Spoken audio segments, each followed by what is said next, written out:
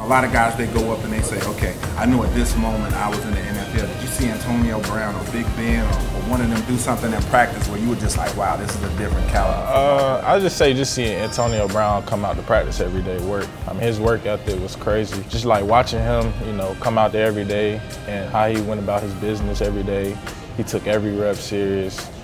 I mean, I was a true professional. I was literally, you know, witnessing a, a, true professional work every day. And so just seeing him come out there work, see Ben come out there you know, try to lead the team, you know, because he's a leader on the team, uh, you know, and work with him as well, you know, catch passes from, you know, get handoffs from him. It was, it was a dream come true.